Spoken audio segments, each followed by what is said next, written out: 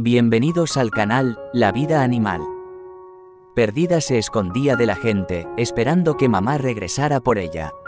El pequeño gatito tenía miedo de aparecer a los ojos de la gente.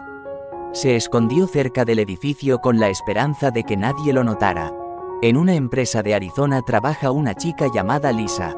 Un día decidió salir a la hora del almuerzo. Y entonces la chica escuchó ruidos extraños. Durante los primeros minutos, Lisa no se dio cuenta de qué era ese chirrido y dónde estaba la fuente del sonido. Pero algo le dijo a la chica que había un gatito en algún lugar cerca. Lisa comenzó a buscar a un bebé llorando.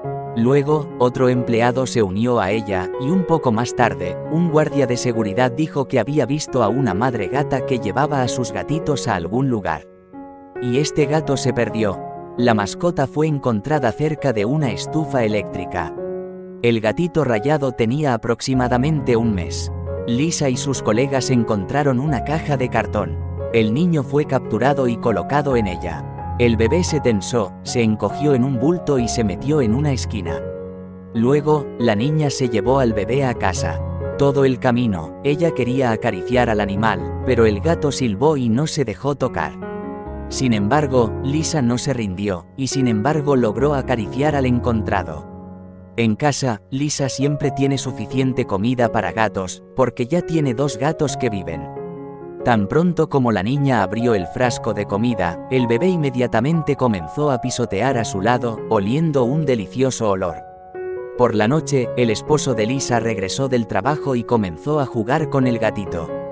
Por la mañana, la pareja se dio cuenta de que ahora tendrían una tercera mascota en la casa, que decidieron nombrar el primer día de mayo, ya que Lisa encontró al bebé el primero de mayo. Por cierto, un poco más tarde resultó que el gatito es una niña. Gracias a esta maravillosa chica por salvar la vida de un gatito. Gracias por venir.